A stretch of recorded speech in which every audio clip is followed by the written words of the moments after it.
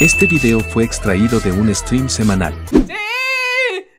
Dejando un like, comentando y suscribiendo te ayudas a seguir trayendo este tipo de contenido. Douglas, lo amo. ¿A qué hora sales por el pan? No sé, guapo, no sé. Pero ¿sabes qué vamos a hacer hoy? Vamos a reaccionar a un bello, hermoso iceberg entretenido en esta bella ocasión. Sí, gente, iceberg de teorías impactantes sorprendentes, increíbles, insólitas. ¡Saluden, chat! ¡Saluden! Que esto sale para YouTube. Mi abuela manda saludos a YouTube. Eso, saludos a la abuelita. Sopieme los terrenos. Gente, hoy vamos a reaccionar al iceberg de teorías impactantes de Randomazo, perro. Randomazo, me encanta su contenido. 10 de 10, tremendo youtuber, huevón. Eso de la madre a los pelagartos, a los VIP de este bello canal. A los que apoyan esta hermosa comunidad. Brian Saucedo, Ronaldo Hernández, de KD098, Cintia B16, Diego León. Un besote y gracias por ser parte de esta hermosa familia PG Lagarto. Epa, yo, mire, yo hablando pendejadas y sin mostrar el iceberg. Este es el iceberg. Iceberg de teorías impactantes y conspiraciones de ciertos y misterios. Loco, literal, es un iceberg de teorías. De randomazo, parce. Los icebergs de él son muy buenos. ¿Cómo te va, mi amor? ¿Cómo te va? Es el silencio. Bueno, me cierro los ciclos ya. Desde lo más normal y común, descenderemos hasta el fondo más ropa y quitarme la oscuro de teorías que definitivamente no te dejarán dormir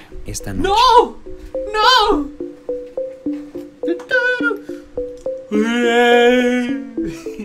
Oye, ando muy cansón, la madre.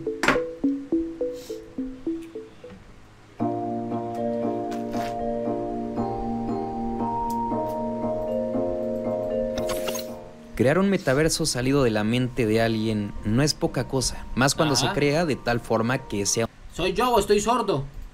No, está alto todo el volumen. Ah, este estoy congestionado. un secreto, un mensaje oculto. Esto es más que nada un detalle extra pero increíble. Las películas de Pixar revelan conexiones extrañas y a la vez fascinantes. Conexiones Sí. que hace unos años en el pasado eran verdaderos secretos. Y los creadores de estas animaciones lo hacían de tal modo que simplemente fuera un detalle extra. Pero esta simplicidad es lo que vuelve tan increíble a esta teoría. Hoy en día la teoría Pixar es súper conocida. Esta nos dice que toda película de Pixar se sitúa dentro de un mismo universo. Para que entiendan, se lo resumo. Supuestamente todas las películas están conectadas de alguna u otra forma. El metaverso, fuera de chiste, parece un metaverso gigante. Todas están conectadas entre sí y hay un orden cronológico entre ellas. ¿En serio? Esto lo sabemos por ciertos detalles Mira, pero sería que la de la de la del robotcito, ¿cómo este se llama? La de la de Wally. Pues pucha, Wally ya es el fin del mundo, el apocalíptico. que los productores de Pixar Animation Studios dejan en algunas escenas de las películas.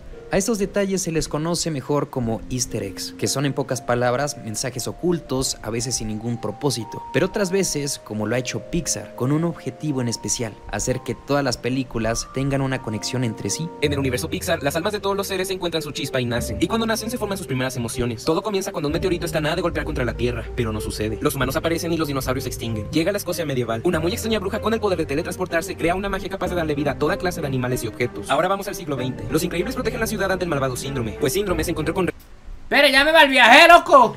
Restos de la magia de la bruja que utiliza para su tecnología. ¿Y Peter Pan dónde está? Y por culpa de esa tecnología se forma la corporación más grande del mundo, que también se dedicó a hacer juguetes. Lo que no sabían es que por ¿tu usar esa magia sin querer le daban vida a todos los juguetes que creaban. Los super terminan extinguiéndose y crean cómics en su honor, así como también hicieron cuentos de criaturas mitológicas. Y en el mundo de los muertos aún nos recuerdan. Mientras tanto, la enorme compañía experimenta con las ratas y descubren que pueden hacerlas muy inteligentes. Y ocurre también una historia de amor. Además de los humanos, también existieron a la par los monstruos, que según el material extra de la película se ocultaron en una isla durante siglos, donde fueron evolucionando No, espere, espere, yo creo que Monster Inc. entra pero eh, en una dimensión del mismo universo, ¿no? Me hago entender. Venga, respire, muchacho, Dios mío, saca se me ahoga. Eh, yo creo que Monster Inc. entra como en dimensiones. Yo creo que es como tal vez un universo, pero también de dimensiones. y creando una enorme variedad, incluyendo así a los monstruos marinos, que se la pasan viviendo en el mar protegiéndose de los humanos. En cambio, los terrestres forman su profesión y diseñan puertas para transportarse con los humanos y obtener energía. Pero Ve, años después, la gran corporación se sale de control, provocan tanta contaminación que hacen inútil el planeta Tierra. Los humanos se mudan a una nave y dejan todo a manos de las máquinas, los robots y los autos inteligentes. Pero los monstruos se quedan en la Tierra. Pero al no haber humanos para hacerlos reír, deben optar por algo más, viajar en el tiempo. Y ahí es donde aparece Mary, una niña que tarde o temprano se termina convirtiendo en la mismísima bruja.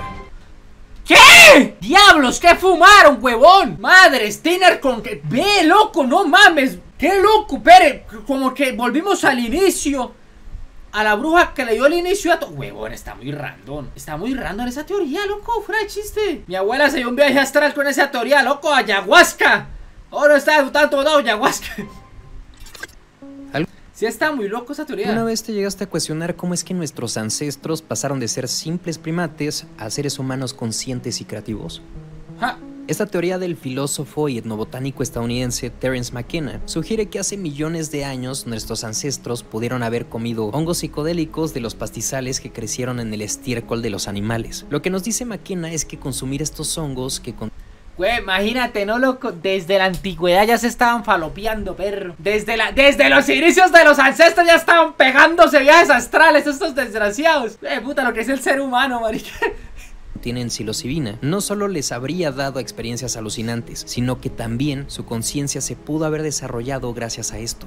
La despegó un mal viaje, la Imagina a madre. nuestros ancestros con una visión más aguda para cazar, una mayor líbido para reproducirse y experiencias místicas que inspiran arte y rituales. Todo gracias a estos honguitos mágicos. Entonces, el vato me dice, güey, que, que como empezó todo Güey, mames, es Pepe Problemas. Este ya no sé si creerle. fue con los psicodélicos, güey. Piénsalo. Piénsalo, cuando alguien, se, cuando alguien le dice piénsalo es porque se va a justificar. Es como, deberías de pensarlo. Voy a decir una teoría súper loca, súper irrealista, pero cuestiónalo. Y ya que estamos acá en confianza, traje unos hongos. ¿Quiere probar? En la naturaleza, güey, un mono, güey, o un ser semejante a nosotros, güey, no es consciente de que es consciente, como dijimos, es, re- es regido por sus instintos naturales, como, como decimos. Pero nosotros también. El ser humano no es consciente de lo consciente que es lo consciente actualmente en lo consciente. Es una paradoja re estúpida. Por ejemplo, ahorita, tú vas a mal viajar. Tú eres consciente que me estás viendo a través de una pantalla en este momento. No sé si estás en el baño, estás acostado en la cama o frente a la computadora y estás escuchando mi voz en este momento con un desarrollo tecnológico que lleva décadas de evolución, que viene literalmente desde la Tierra, de un montón de minerales. ¿Eres consciente de eso en este momento? De que eres parte de un todo y a la vez de un nada. ¿Eres consciente? ¿O simplemente estás viviendo lo que crees que es la realidad de lo consciente actualmente? Te lo pones a cuestionar. Bienvenido. Pero ¿qué pasa si en su naturaleza él prueba una raíz, güey? O se come un sapo, güey, o el, o el mono come un hongo del suelo. ¿Qué, ¿Cómo actúa el psicodélico en una mente primitiva? Hipersensibilidad. Más sensible. La, la expande. Entonces, ¿cómo Sí. es la evolución de la mente, güey? Si a una mente Güey, sí y no. Creo que lo vuelve más sensitivo. Pero si no hay un raciocinio del porqué de las cosas, pues aquí se llega, ¿no? No, ya me estoy mal viajando. completamente restringida por su cavernicolés, palabra radio ovni. Si a, una, si a una mente restringida por su cavernicolés, güey, le das algo para abrirla, entonces a la mente ya no le alcanza el pedo del instinto y tiene que abrir otra mente, por así decirlo, que pueda ver estos instintos desde afuera. Es como el desarrollo. Es que eso es parte cerebral. Es que eso es parte cerebral, parce. Es como. ¿Cómo les explico? Es como que el que juega videojuegos, juega un juego que le gusta y toca darle más, ¿me entiende? Más y más y más porque ya no se sacia. Su mente se vuelve una máquina altísima de consumo. Por eso juegos como Fortnite, Free Fire o que tengan las actualizaciones son tan adictivos. Entonces el raciocinio del ser humano es eso. Por eso es que cada año hay literalmente un evento deportivo, hay una Copa del Mundo, hay Olímpicos, hay un reinado de belleza, eh, hay Champions, hay, ¿me entiende? Porque necesitamos darle más y más y más. En la parte primitiva, siento que eso fue el desarrollo de la evolución. Sí, sí, sí, sí, todo- si pasó todo está mal.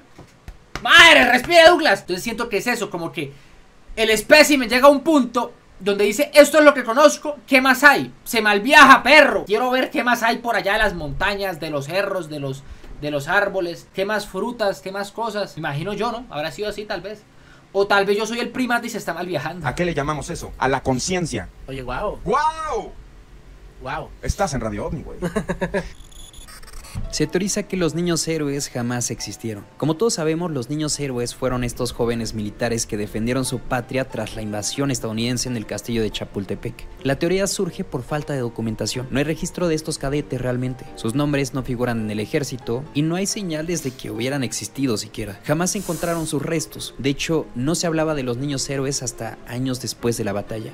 Fue entre los 70s y 80s que se comenzó a hablar de ellos. Sí. Se piensa que la política los creó con la intención de fomentar el patriotismo y tener más conciencia cívica. Algunos historiadores mexicanos dicen que los niños héroes fueron inventados por grupos más poderosos de México. También se dijo que fueron inventados por Estados Unidos. Esto porque Estados Unidos hace muchos años comenzó a publicar en periódicos acerca de las hazañas de los cadetes. También surge la teoría porque hay muchas contradicciones, como por ejemplo, el más joven Pere, pere, pere, pausa. Eh, referente a esto, esto es muy normal, la verdad. En Colombia también pasa. He escuchado muchas cosas de, por ejemplo, de países latinoamericanos. Las versiones de las historias como nos las vendieron son muy diferentes. Acá en Colombia hubo una pelea, una batalla en un puente, por ejemplo. Y es un puente súper sencillo y es una pelea y todo, ¿me entiende? Y a punta de machete y, y pium pium y todo ese tema. Pero la pelea, la batalla como te la venden, te la venden como batalla medieval de la antigua de 100.000 hombres contra otros 100.000 hombres y tú me entiendes, te la venden como casi 300, huevón. Pero no, ¿me entiendes? Es como que vuelven más épicas las historias, las desarrollan mejor, le meten una trama como algo más emocionante, para darle una chispa, una sazón de algo. Pero muchas historias de nuestros pasados, así de nuestras culturas, no, no eran tanto como nosotros creíamos que eran. Muchas están maquilladas y retocadas.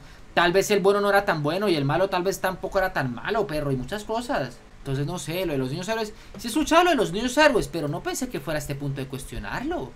Yo pensé que era verdad. Y creo que hasta en, las escuelas de México hacen dinámica y todo el tema, ¿no? Hacen como...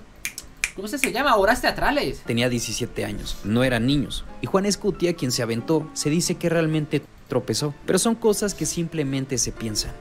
Hay que creer en pruebas más sólidas pero el, tema de, que Juan Escutia se envolvió en la bandera y se aventó para que los gringos no, no, la tocaran. Tomaran, no, es mito. Mito. Acuérdate que los mitos se, surgen para hacer explicación de cosas. Wow, loco, pero si está re densa esa versión de la historia. Se puso una bandera y se tiró. Eso sí está denso, la madre. Sea, sea historia, relato, lo que sea. Fue loco, qué turbio, parce. Ah, les voy a decir uno, por ejemplo, el concepto de las sirenas. Para que tengan el concepto de las sirenas. Las sirenas vienen basadas en los manatíes. Eh, mire, sirena, manatí, parce, para que tengan una idea. Las sirenas vienen basadas en los conceptos de los manatíes. Literal, parce. De acá nace el concepto, mire, para que tengan una idea. De acá nace el concepto de las sirenas, de los manatíes. Lo que pasaba es que los pescadores, cuando iban a mar adentro, pues ellos se inventaban muchas historias, como para poder pasar las noches, como para poder, ¿me entiende? Desarrollar ese ambiente más social y lo uno y lo otro. Entonces muchas de estas historias comenzaron como a entrecruzarse de décadas y décadas y décadas y décadas hasta que agarraron forma, parce y le fueron integrando más desarrollo y todo eso. Eso pasa en muchas culturas, no solo en Latinoamérica, en muchos países del mundo, en muchas culturas. Y pues uno a veces, pues, pa, ni idea si será verdad o mentira.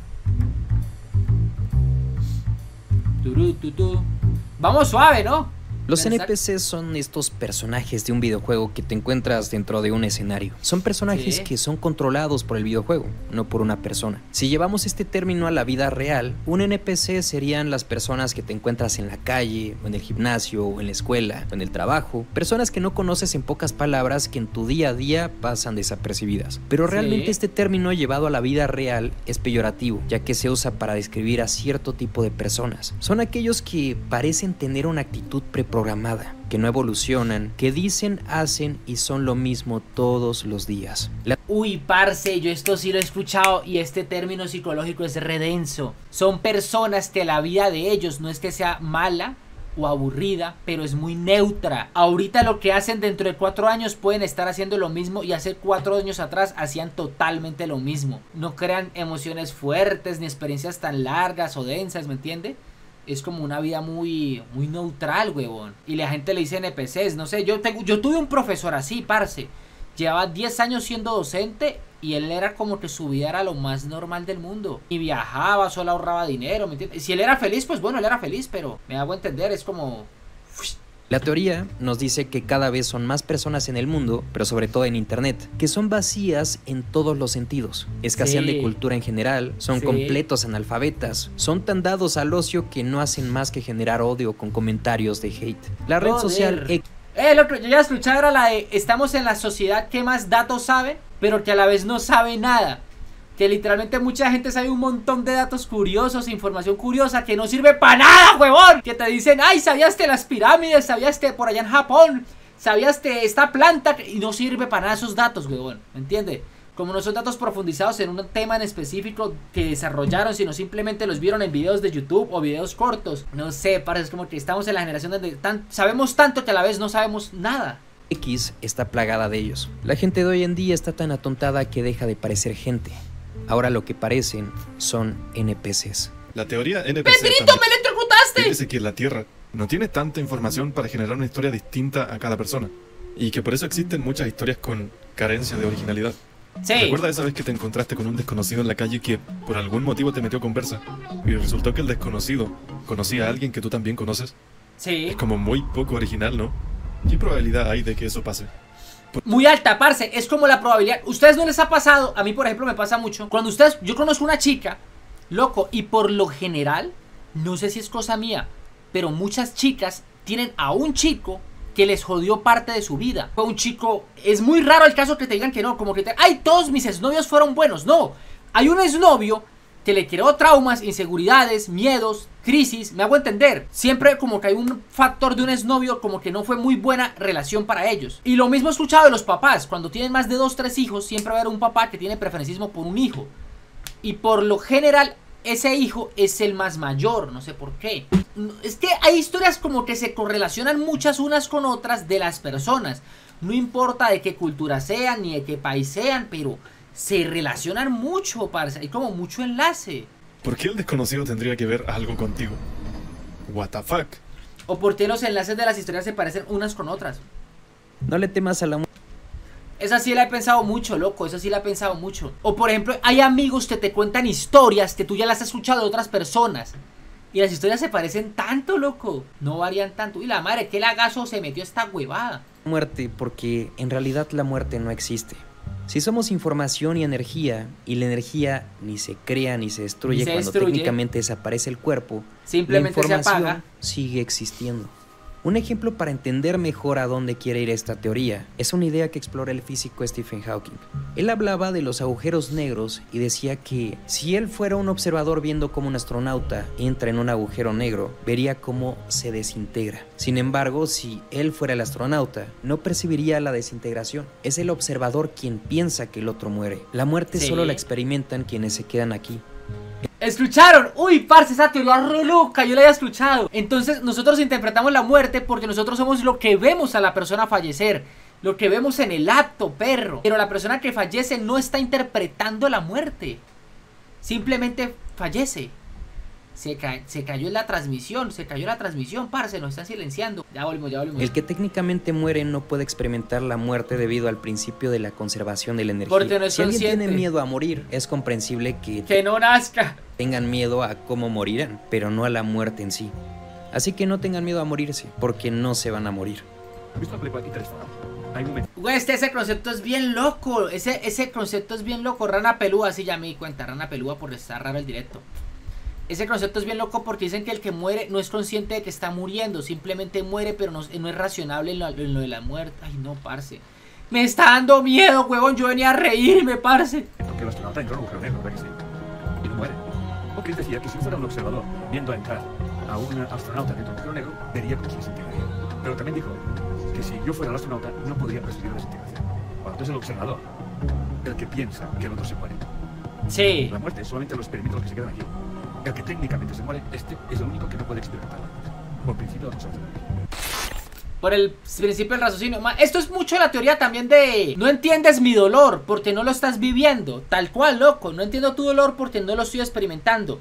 Y por muy parecido que sea, de que pase la misma experiencia que tú la pases, no va a ser igual porque no interpreto las emociones de la misma forma que tú las interpretas.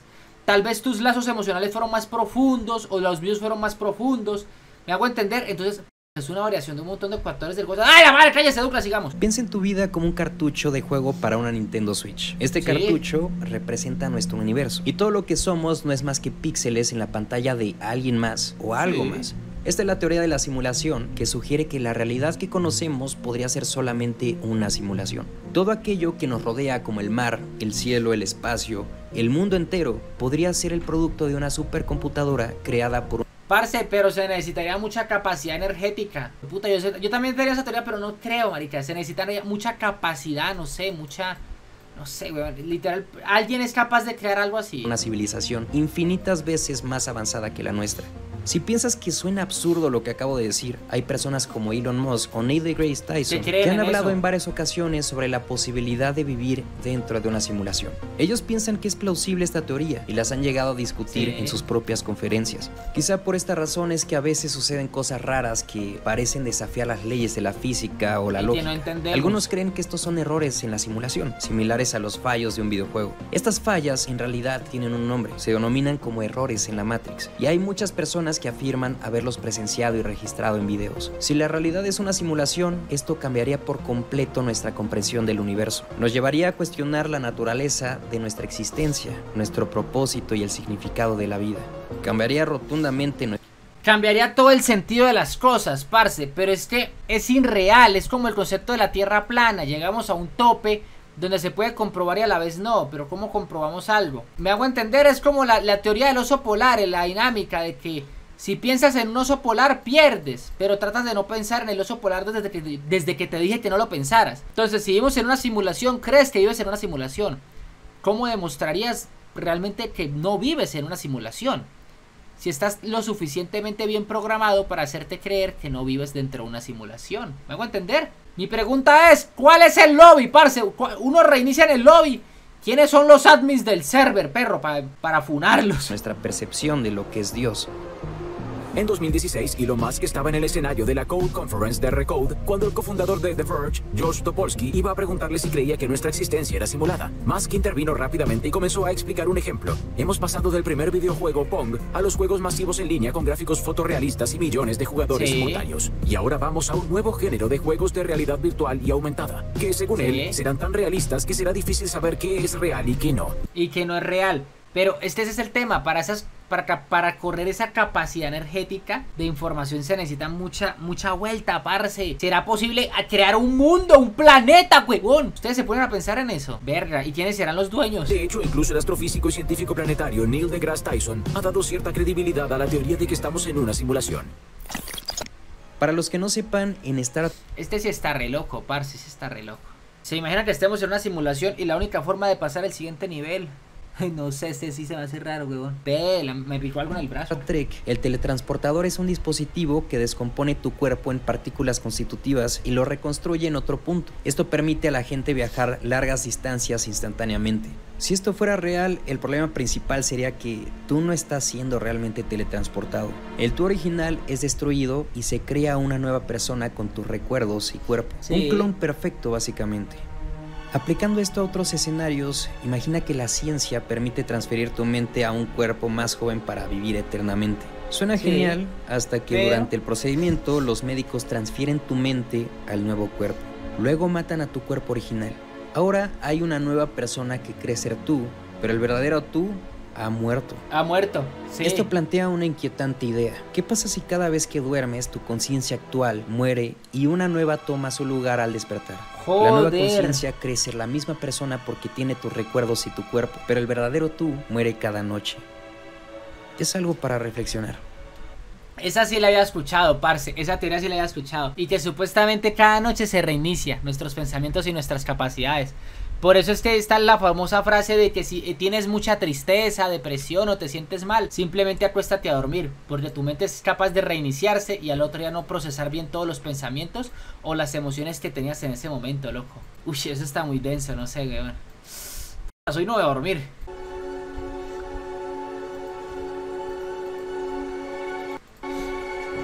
Nivel 3. Uah. Considero que la manera más fácil de entender esta teoría es sintiéndonos parte de una historia. Ah, la Así teoría del huevo. La contaré así.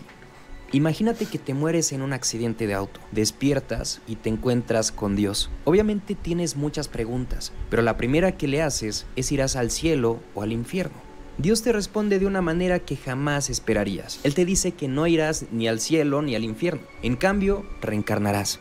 Confundido le respondes a Dios que nacer en, ¿En otro qué? cuerpo y empezar de ceros significaría empezar una nueva vida sin recordar nada de la vida anterior. Dios con una semisonrisa amistosa te aclara que en realidad llevas todas tus experiencias y conocimientos de tus vidas pasadas contigo y que en esta próxima vida serás nada más y nada menos que una campesina china en el año 540 a.C. Inteligentemente le preguntas a Dios si es posible interactuar contigo mismo, si puedes reencarnar en diferentes líneas de tiempo. Dios te dice que sí y que de hecho puedes encontrarte con otras versiones de ti mismo. Es así que Dios te da la respuesta a la incógnita más importante. Él te explica de la manera más humilde y sutil que todo este universo fue creado solo y únicamente para ti. Cada nueva vida que vives es una vida diferente, es una vida alterna, cada historia es diferente, parce. Yo esa teoría yo la he escuchado, se me hace re loca. Es como que en una parte tienes todo solucionado de alguna forma más simple y en la otra todo es más complejo. Tu madurez, inteligencia y sabiduría aumenta. Todas las personas en la Tierra en realidad son reencarnaciones de ti mismo. Es así que cuando lastimaste a alguien, te lastimaste a ti mismo. Cuando ayudaste o abrazaste a alguien, te lo hiciste a ti mismo. Todo esto fue hecho... Putas, cuando me hice el amor, me, hice, me lo hice a mí mismo. Para que crezcas y te desarrolles hasta convertirte en un ser como Dios. Eres hijo de Dios y tras vivir todas las vidas posibles, habidas y por haber en todos los tiempos, estarás listo para nacer como un ser divino. Así que el universo no es otra cosa más que un simple huevo. Me pongo a pensar, ¿todas las vidas significarían las vidas malas también? Digamos, fui alguna persona que cometió cosas muy malas o una persona que fue muy depravada. ¡Tuvo OnlyFans! En otra vida tuvo OnlyFans, perro. No sé, es esa parte de la teoría que todos somos un todo y a la vez somos un nada y un solo ser, no sé, weón. Me hace reflexionar la madre, porque hasta qué punto, loco, hasta qué punto. Entonces en otra vida fui, fui una colombiano y en otra fue, no sé, un karateca japonés. No sé, güey, me pone a pensar, la verdad. Fuimos Michael Jackson. Hay una teoría conspirativa que sugiere que el tiempo parece ir cada vez más rápido. Los eventos históricos suceden esporádicamente. Eh, parce, no es que el tiempo vaya más rápido, es que realistamente el tiempo avanza en la percepción como nosotros lo vemos. Lo vemos más rápido porque la percepción de nuestra realidad es más rápida. Entre mayor consumo de cosas, mayor cantidad de cosas, más el tiempo de ocio no avanza tan lento. No sé si me hago entender o los enredé peor la madre. Pero actualmente suceden con mayor frecuencia. Nuestros antepasados Eso, los eventos son más rápidos. Vivieron dos guerras mundiales separadas por 25 años, lo cual es terrible, pero sucedieron con muchos años de diferencia. En estas últimas dos décadas han sucedido muchas cosas sumamente históricas, como por ejemplo el ataque del 11 de septiembre, el corralito en Argentina, el auge de Silicon Valley, la pandemia, la primavera árabe, la crisis en Venezuela, la crisis financiera global de 2007 a 2008, cambios climáticos, catástrofes y lo que nos provoca tanta ansiedad, las amenazas de guerras frías o la tercera guerra mundial o todo lo que provocarán los avances tecnológicos de las inteligencias artificiales. Estos cambios rápidos. Y no han pasado 25 años. Él está hablando del 2000. No han pasado 25 años. Todo lo que ha pasado, literalmente 24 años. El próximo año sería 2025. 25 años todo lo que ha pasado. Ustedes se están dando cuenta que estamos más cerca del año 2050 que del año 2000.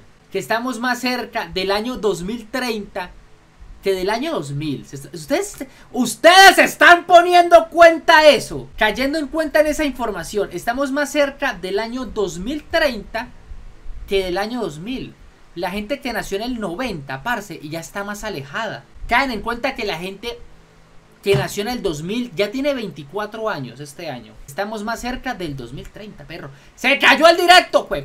Nos están silenciando, perros. Se está cayendo esta mamada. Parce, nos quieren silenciar, la madre. Nos quieren silenciar, hijo de puta. Nos están silenciando. Se están farmeando al mundo, literal.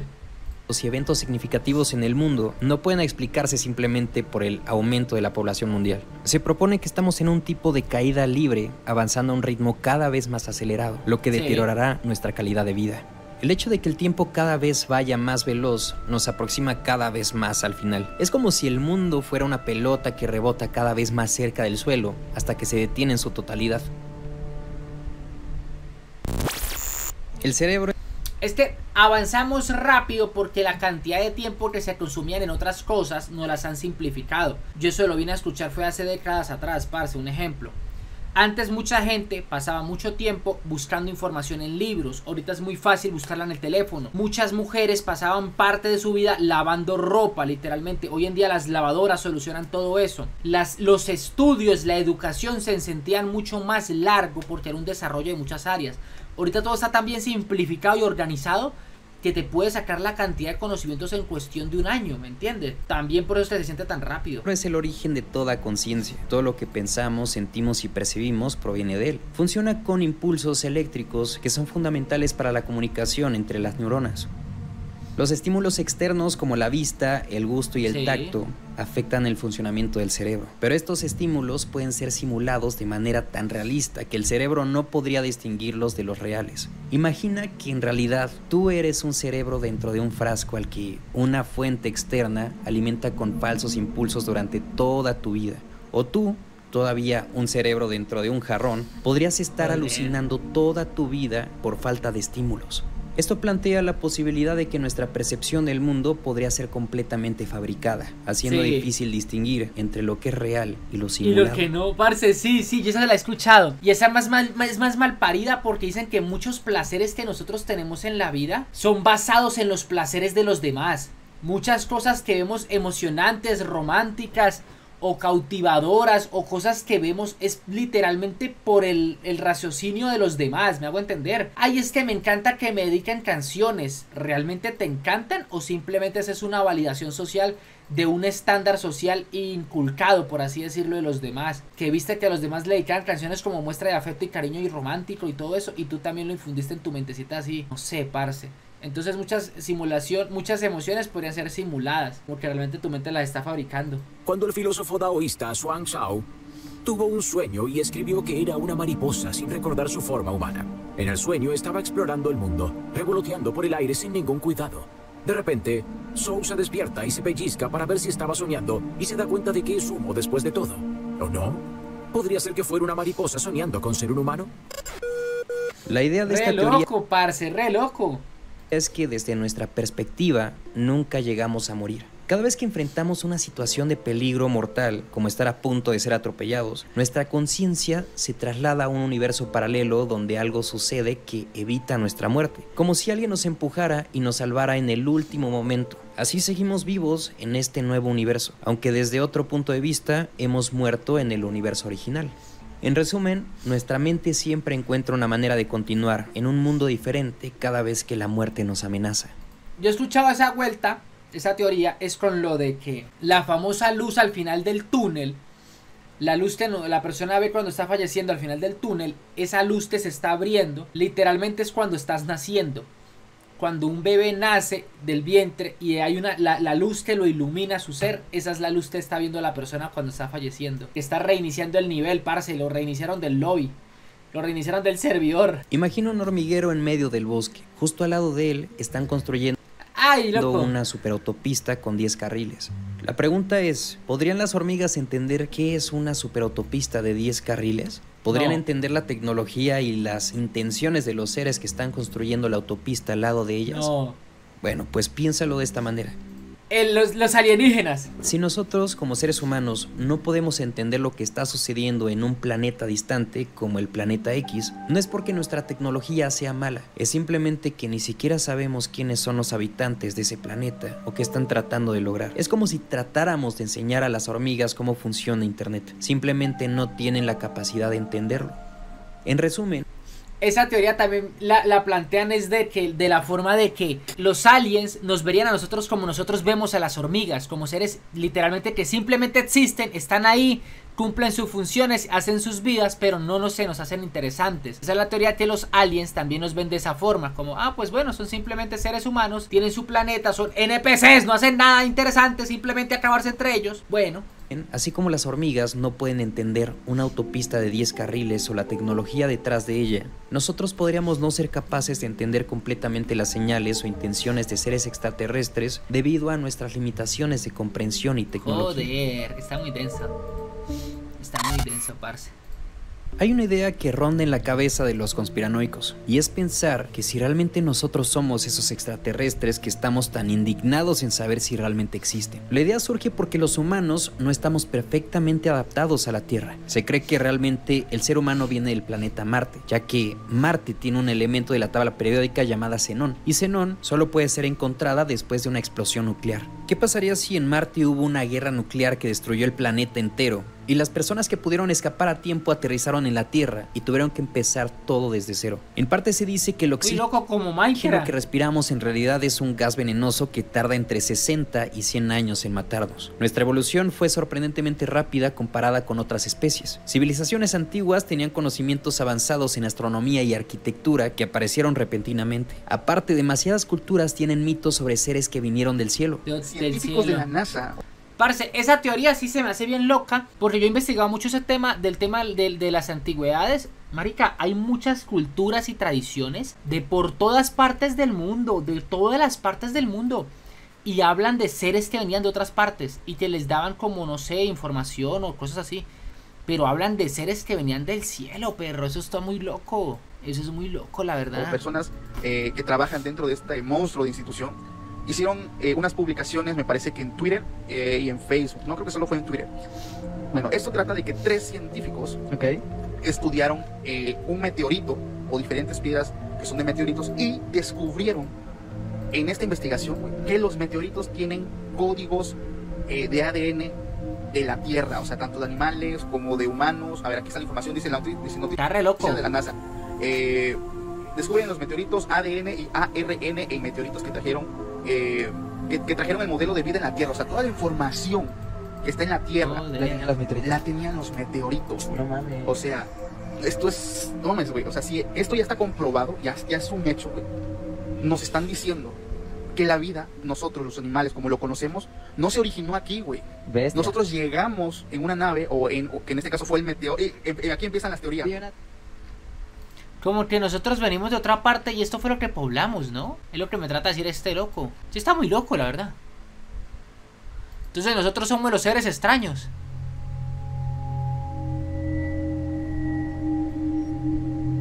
Nos cambiaron el server, huevón. Eso es lo primero que yo pienso, ¿no, marica? ¿Dónde, p- ¿Dónde dejó? Yo guardé la partida, huevón. ¿Dónde, ¿Dónde me mandaron a... ¿Dónde me reiniciaron? La teoría del Internet vacío o el Internet muerto es una idea conspirativa que propone que desde el año 2016 o 2017 Internet dejó de existir. Así como lo oyes, existieron cambios brutales en la forma en la que se genera y se presenta el contenido en la web. Lo que muchos conocemos como Internet es en realidad una suerte de simulación virtual en el propio mundo virtual.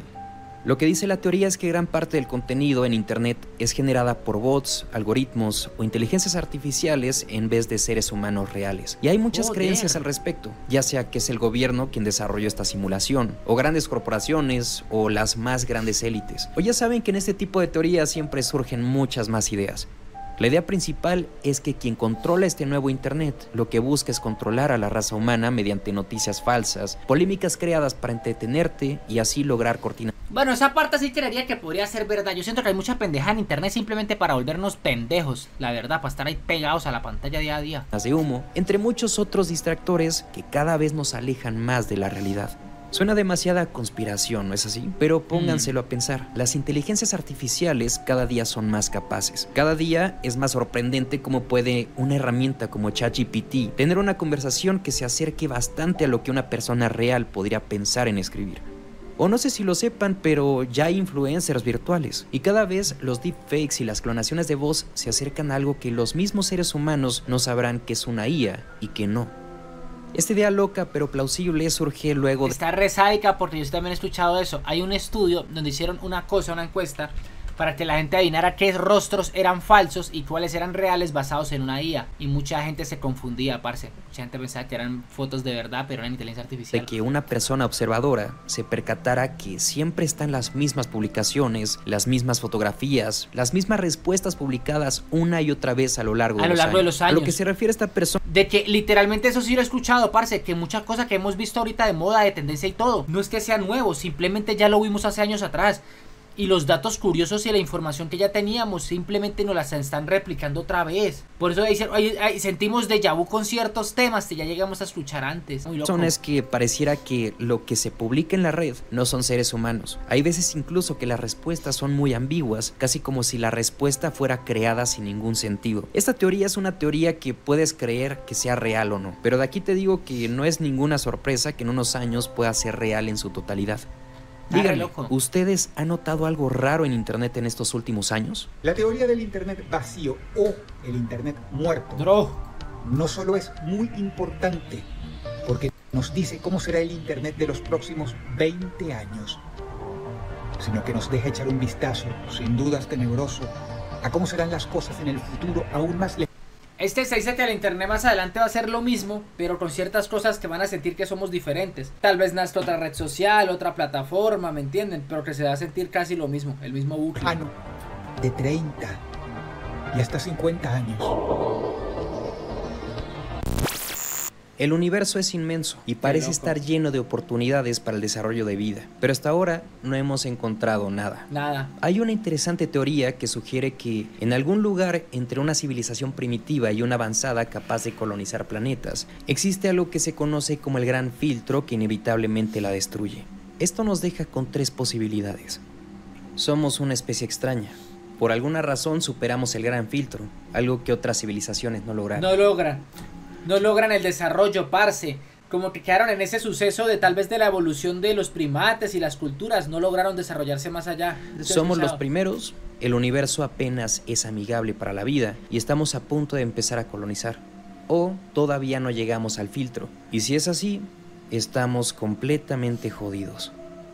Y llegar al filtro es como el, el, proceso de llegar a un punto de desarrollo para poder explorar otros planetas, otras galaxias. Si descubrimos vida en Marte o en algún otro planeta vecino, sería una muy mala noticia. Significaría que el gran filtro aún nos espera y no está en nuestro pasado. No lo imaginamos, es decir, el hecho de que no veamos eh, civilizaciones extraterrestres que estén a full, a tope, es, puede ser una prueba de que haya un cojón de filtro. Claro, claro. Que ni no, ni no pensamos que vienen a nosotros y que o lo superamos o caput. La Antártida puede ser el... Este está, está muy bestia eso, parce. Este yo sé que uno, uno se cuestiona lo del espacio y uno se siente hasta mal, le da depresión, huevón. Como que, ¿será que realmente somos insignificantes ante el, así ante el universo? Lugar más misterioso e intrigante que existe. Hay una teoría fascinante que podría cambiar por completo cómo vemos este territorio. Según esta teoría, la Antártida no es solo una gran masa de hielo en el Polo Sur, sino una enorme pared de hielo que rodea los continentes. Algunos piensan que si pudiéramos cruzar esta gran muralla, descubriríamos continentes que han sido intencionalmente ocultados de nosotros. En 1992 se publicó un nuevo mapa mundial estándar llamado el mapa de Gleason, que muestra la Antártida como una barrera de hielo rodeando nuestros continentes. Un hecho muy intrigante es que el logotipo de las Naciones Unidas se parece mucho a este mapa. Según los defensores de la teoría de la barrera de hielo, conocido como el muro de Ross, detrás de esta imponente barrera no caes a la nada. Parce, lo que pasa es que yo lo de la Antártida, ¿sabe por qué no lo creo? Porque lo he investigado mucho, marica. El tema de la Antártida lo, lo han investigado mucho, loco han mandado muchas exploraciones y todo. Este, Antártida no solamente como el control de un país, sino de varios países. Detrás de esta hay un nuevo mundo. Otros continentes, civilizaciones secretas que poseen tecnología avanzada, culturas diferentes a las nuestras. Afirman que esta existencia desconocida está siendo ocultada por una conspiración global. ¿Qué pensarías si te dijera que este yo siento que tampoco el mundo se pone para... el mundo tampoco se pondría tan de acuerdo por una pendejada así. Ya estás muerto. ¿Y qué tal si el mundo entero también lo está? En 2012, ¿Recuerdas que había una creencia Sí, la que el, mundo se reinició. ¡No reiniciaron el server, huevón! de que el 21 de diciembre del 2012 a las 12.12 sería el fin del mundo. Pues aunque muchos creen que nada pasó ese día, ha surgido una teoría que dice todo lo contrario. Según esta teoría, el que morimos y estamos en una línea temporal, efectivamente terminó en esta fecha, pero no lo notamos porque fue tan rápido que ni nos dimos cuenta. Desde el 2012, muchas personas sienten que el mundo ha cambiado, que ya no es igual que antes. Han ocurrido eventos extraños, absurdos y difíciles de explicar. Los seguidores de esta teoría cuentan que vivieron experiencias cercanas a la muerte el 21 de diciembre del 2012. Se dice que cuando una persona muere, su cerebro sigue funcionando por 7 minutos, recreando recuerdos como en un sueño. En los sueños, el tiempo pasa de manera diferente, por lo que esos 7 minutos pueden parecer mucho más largos. El famoso científico Stephen Hawking advirtió que descubrir la partícula de Dios podría causar el fin del mundo. Esta partícula, curiosamente, fue descubierta en el año 2012, lo que algunos creen que podría estar relacionado con el fin del mundo. Entonces, la partícula de Dios era el compuesto que daría todo el concepto a todo, ¿no? No me acuerdo cómo era el... Bueno, ya lo ¿Ustedes creen que realmente estamos muertos? Esta teoría sugiere que estamos viviendo en una especie de sueño prolongado, un sueño que lleva desde el año 2012. Y que no nos hemos dado cuenta. Eso está re loco. Mira, ¿cuál era la partícula de Dios? Yo no me acuerdo. Que era la respuesta a todo, me acuerdo, supuestamente. El bosón de Higgs la partícula de Dios. Es un elemento fundamental para toda la materia existente en el universo. Ayuda a que las demás partículas tengan masa. ¡Ah! Como la partícula inicial de todo. Es como la típica de tiene que haber un contexto. La, la, famosa. la famosa teoría de. ¡Ay, la madre, perros! No, fue pucha, yo estoy más congestionado. Estoy muriendo. De que para que toda. Para que. Eh, esa es como la cuestión de la reacción, parce. Todo lo que ha pasado en, el universo y en la Tierra es la reacción de un inicio de una acción. Entonces, ¿quién fue el concepto o el que dio el inicio a esa acción? Antes de que existiera el concepto de lo que era todo. Es como el mismo concepto de la partícula de Dios. Tiene que haber una partícula fundamental que le dé todo el concepto al resto. No me acuerdo cómo era el concepto. ¡Investíguenlo, la madre! Imagina que estás en un mundo bidimensional como una hoja de papel. En este mundo solo puedes moverte hacia adelante y hacia atrás o hacia los lados, pero no puedes moverte hacia arriba ni hacia abajo porque no hay una tercera dimensión. Ahora, si alguien desde arriba de la hoja de papel te mira, no podrías verlo porque estás limitado a tus dos dimensiones. Solo si esa persona te mira desde arriba, puede verte, pero tú no puedes verla desde abajo. Luego pasamos a un mundo en 4D. En este mundo, además de moverte hacia adelante y hacia atrás y hacia los lados como en el mundo 2D, también puedes moverte hacia arriba y hacia abajo, pero hay una dimensión adicional que no podemos ni imaginar. Entonces, si alguien en este mundo 4D te mira desde un ángulo que no puedes concebir, podría estar justo a tu lado, pero tú no serías capaz de verlos o entender desde dónde te están mirando. Está Así como nosotros en el mundo 3D podemos interactuar con objetos en el mundo 2D, como dibujar en una hoja de papel. Alguien en el mundo 4D podría interactuar con nosotros de una manera que no podríamos entender completamente. En resumen, por tanto que creas que estás solo, podría haber algo justo a tu lado mirándote fijamente. Pero no lo sabrías si está o no está. Y nunca lo sabrías.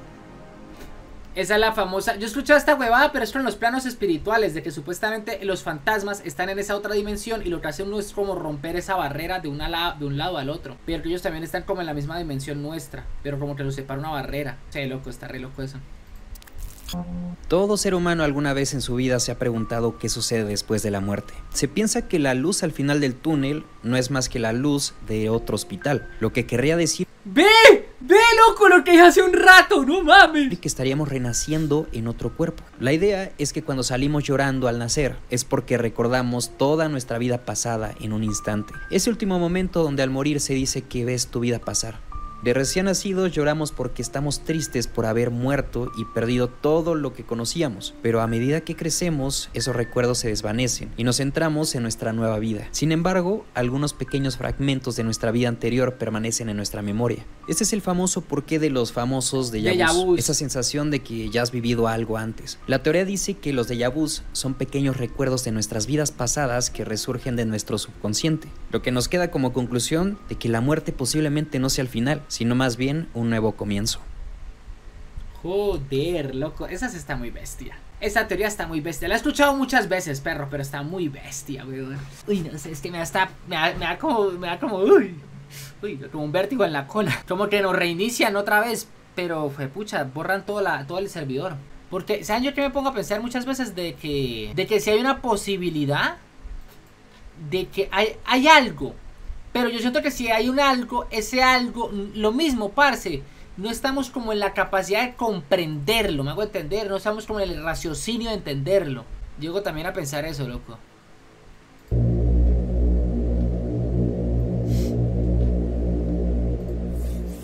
Actualmente estamos viviendo lo que muchos biólogos consideran la sexta extinción masiva que ha visto el mundo, lo cual será un interesante rompecabezas para las generaciones venideras. El verdadero problema son los recursos limitados de la Tierra. La población actual está consumiendo en exceso. ¿Qué sucederá cuando alcancemos los 10 u 11 mil millones de personas? Estamos agotando poco a poco nuestros propios recursos y se están extinguiendo las especies que nos rodean, ya que cada año aumentamos nuestro consumo para dar cuenta del crecimiento de la población y la prolongación de nuestra esperanza de vida. En resumen, con 7.200 millones de personas, la Tierra tarda aproximadamente 18 meses en producir los servicios ecológicos que utiliza la humanidad en un año. ¿Qué ocurrirá cuando la población alcance los 11.000 millones? No fue hasta alrededor de 1800 que la humanidad alcanzó una población de mil millones después de miles y miles de años. En los 224 años transcurridos desde entonces, la población mundial ha aumentado hasta alcanzar los 7.900 millones. Este crecimiento exponencial Joder, tiene loco. efectos negativos muy grandes y duraderos en nuestro planeta, y continuará haciéndolo hasta que alcancemos la máxima capacidad de carga y nos extingamos por completo. No se trata de si nos quedaremos sin recursos debido a la población y el consumo, sino de cuándo ocurrirá esto. ¿Alguna vez te has preguntado Wow, loco, si está redenso, ¿no? Pero me puse a pensar eso, ¿cuándo llegaremos? ¿Cuándo llegaremos a esa cantidad de población? por qué la NASA dejó de explorar el océano? Se dice que la NASA comenzó a investigar las profundidades del mar en 1958, pero abruptamente detuvo sus exploraciones en 1978. Desde entonces, su atención se ha centrado en llevarnos, por alguna extraña razón, fuera del planeta. ¿Por qué este cambio tan drástico? ¿Qué encontraron en las oscuras y misteriosas profundidades del océano? Y lo que es aún más inquietante, en 2021 la NASA llevó a cabo una explosión masiva en el océano, que estaban tratando de destruir.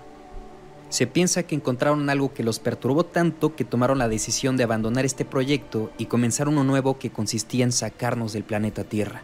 Curioso. Considerando que del océano conocemos menos del 5%, pensar en criaturas Lovecraftianas escondidas bajo el agua no es algo Sí. que podamos descartar. No. Las preguntas que surgen Güey, ese, yo se escuché esa teoría alguna vez, como que encontraron algo bajo el agua, que dijeron, ¿sabe qué? Vámonos de la Tierra, su madre, esto está returbio, vamos a explorar el espacio. Eh, la vuelta este es- sonará tonto, pero es muy difícil, creo que es más difícil explorar eh, bajo el agua que el espacio, por la presión que hay, loco. No sé, es como más complejo, ¿no? Llegar al fondo del agua que, a lo más lejano del espacio. Es que las dos son complejos. surgen a partir de aquí ponen la piel de gallina.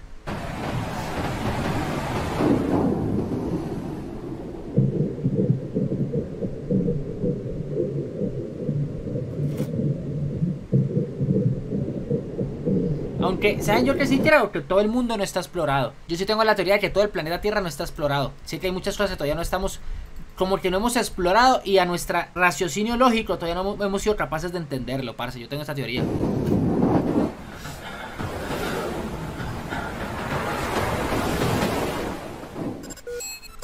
¿Sabes lo verdaderamente inquietante de la interpretación de los mundos paralelos? Sí. La idea de que si alguna vez decidieras, digamos, di- en la cabeza con una pistola, siempre habría un número infinito de universos en los que sobrevivirías al disparo. Porque aunque la probabilidad de sobrevivir a un disparo en la cabeza es extremadamente pequeña, menor al 1% para los disparos de escopeta, seguirá existiendo una fracción no nula de universos en los que ese evento ocurra. Y al ser una fracción de conjunto infinito, Se abre una línea de tiempo. Se abre otra línea. infinitamente infinita. Eso Sí. significa que hay un número infinito de versiones de ti mismo que sobreviven al disparo y Ajá. probablemente tengan que sufrir un dolor inenarrable. Así que no importa cuán enferma y horrible se vuelva la realidad, nunca podrás escapar de ella. No funcionaría. Una de antidepresivos no funcionaría tampoco. Saltar del puente Golden Gate tampoco funcionaría. Todas ellas implican una cierta posibilidad de sobrevivir, por muy mínima que ésta sea, lo que permite un número infinito de realidades en las que te ves obligado a soportar las consecuencias, por más terrible que sea y por mucho dolor que deje el intento fallido de morir. Es como que la realidad que estás viviendo ahorita es una decisión o una... Parce, la realidad que estás viviendo ahorita es como la de los factores que te tocaron vivir, ¿me entiendes?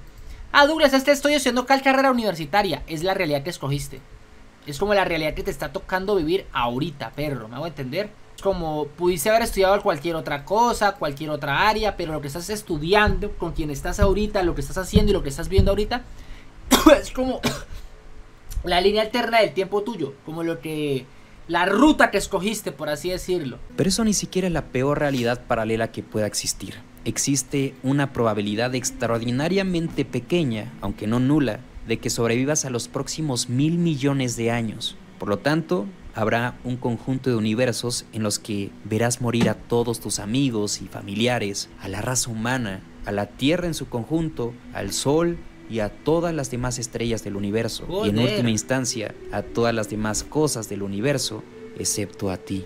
Y tendrás que soportar un aburrimiento abrumador o una agonía insoportable durante todo el tiempo que exista el multiverso, Hasta que acabe del toda la historia del universo, lo ¿no? cual bien podría ser una eternidad. No habrá escapatoria de esto porque, por muy improbable que sea que sobrevivas tanto tiempo, siempre habrá un número infinito de universos en los que esa eventualidad se haga realidad. Te encontrarás solo a la deriva entre un vacío cósmico eternamente quieto y el espacio para siempre. Sin duda, En la te nada, volverás literal. loco, pero nunca morirás. Uy, pero está horrible. Es como llegar a la inmortalidad, pero de forma horrible, huevón. Ver todo pasar frente a tus ojos y simplemente verlo nada más. Hasta que todo tenga un fin. No sé, está horrible. Hay una teoría que dice que todas las cosas horribles que puedas imaginar han sido hechas ya por alguien en algún momento de la historia de la humanidad. Según esta teoría, los actos más terribles que puedan llegar a surgir en nuestras cabezas, desde las atrocidades de guerra hasta los crímenes más atroces, ya han sido cometidos por individuos en diversas épocas y lugares del mundo. Esto implica que la capacidad humana para el mal no tiene límites y que cada posible atrocidad ha encontrado en algún momento a alguien dispuesto a llevarla a cabo. La teoría busca destacar la oscuridad que puede existir en la naturaleza humana y nos invita a reflexionar sobre lo perverso que podemos llegar a ser como especie. Cosas como estar cargando al bebé de un familiar o amigo y pensar en hacer algo horroroso. ¿Alguna vez pensaste cómo sería ir por la calle y golpear a alguien de la nada? ¿Alguna vez Parce, yo esto me lo he cuestionado mucho porque muchas veces lo he visto, huevón. De mucha gente que dice ciertos comentarios tan bestias que qué pasaría si hiciera algo así o qué resultaría. No sé, Mike, se me hace re loco. Es con pensamientos intrusivos, ¿no? viste a tu novia o a tu novio y pensaste, sin estar enojado, sin provocación alguna, en cómo sería si de pronto cogieras un c- y se lo en el pecho? ¿Cómo sería si viendo a tu madre en la cocina, agarraras una olla de aceite hirviendo y se lo en la cara? Hagamos una pequeña dinámica. Observa la pantalla y califica del 1 al 10, siendo el 10 lo máximo. ¿Cuánto te incomodan estas imágenes? Vaya inquietante, loco. Loco, pero mira que sí me pone a pensar eso, weón. ¿Por qué la gente tiene ese tipo de pensamientos tan raros? Es muy psicopático, ¿no? Perturbador. Inquietante. Raro. bueno, esto está graciosa, la madre. Exótico. Uy, perro, así me veo yo recién levantado por la mañana, weón. Esta es mi cara cuando llego al orgasmo. Bueno, esto parece un perro con cara de señor. Es muy probable que gran mayoría en la audiencia se sientan extraños al verlas. Se hayan sentido incómodos o hasta les haya producido tanto miedo al punto de quitar el video. A este sentimiento por ver algo que se acerca en exceso a la apariencia y el comportamiento de un ser humano se le conoce como el valle inquietante. Nos hace pensar que algo está mal, como si nuestro cerebro nos estuviera dando una señal de alerta. En realidad esta descripción es muy difusa. Es difícil ponerlo en palabras explicando a detalle el porqué de este fenómeno tan extraño en nosotros. Pero muchos científicos y etnólogos comparten la misma teoría del por qué existe el valle inquietante. Lo que ellos teorizan es que esto se debe a que en algún punto de nuestra existencia hubo una razón para sentirse asustados de seres que parecían humanos, pero no lo eran. No lo eran. Esto mismo sucede con la oscuridad en millones de personas, porque en algún momento de la evolución humana habían motivos para tener miedo de muchas cosas que se ocultaban en la oscuridad. Si esto es cierto, ¿de qué seres se escondían las personas en tiempos antiguos que hasta el día de hoy persisten nuestros instintos? ¿Qué entidad con intenciones Esa está muy bestia, esta teoría está muy bestia. malignas intentaba acercarse a nosotros con una apariencia humana, pero no lo era realmente? ¿Y por qué era necesario temerle? ¿Qué criatura, o quizás algo diferente, despierta esos recuerdos al ver estas imágenes? Muchas gracias por ver este video. Si te Joder, esa está muy bestia. Esta teoría está muy bestia. ¿Por qué, por qué le tenemos miedo a ese tipo de conceptos? ¿De dónde nace ese terror, no? gustó, te agradecería una enormidad si me regalas tu valiosísimo like. Wow, loco, tremendo icebersazo de parrandomazo. Mis respetos, un besote en la nalga derecha. ¡Bello!